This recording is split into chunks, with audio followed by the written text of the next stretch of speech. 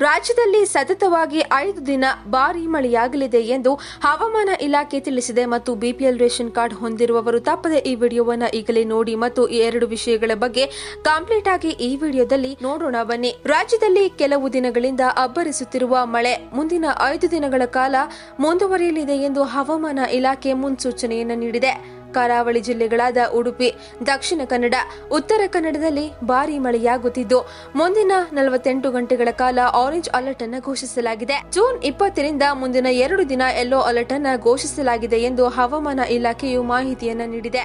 ಮಲೆನಾಡು ಜಿಲ್ಲೆಗಳಾದ ಶಿವಮೊಗ್ಗ, ಕೊಡಗು ಮತ್ತು ಹಾಸನದಲ್ಲಿ ಜೂನ್ ಹದಿನೆಂಟರಂದು ಆರೆಂಜ್ ಮತ್ತು ಜೂನ್ ಹತ್ತೊಂಬತ್ತರಂದು ಯೆಲ್ಲೋ ಅಲರ್ಟ್ ಇದ್ರೆ ಬೆಳಗಾವಿ, ಬೀದರ್, ಕಲಬುರಗಿಯಲ್ಲೂ ಭಾರಿ ಮಳೆಯಾಗುವ ಸಾಧ್ಯತೆ ಇದ್ದು ಯೆಲ್ಲೋ ಅಲರ್ಟ್ ಅನ್ನು ಘೋಷಿಸಲಾಗಿದೆ.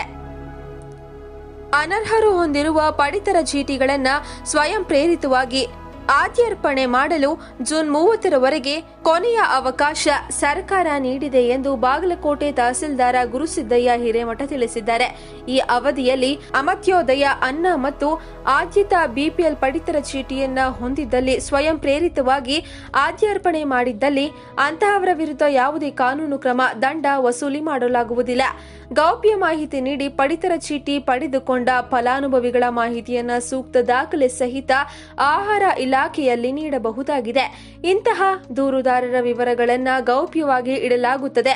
ಸರ್ಕಾರದ ಮಾನದಂಡಗಳನ್ನು ಮೀರಿ ಅಂತ್ಯೋದಯ ಮತ್ತು ಬಿಪಿಎಲ್ ಪಡಿತರ ಚೀಟಿಗಳನ್ನು ಹೊಂದಿರುವವರ ಕುಟುಂಬಗಳ ಬಗ್ಗೆ ತನಿಖೆಯನ್ನು ನಡೆಸಲಾಗುತ್ತಿದೆ.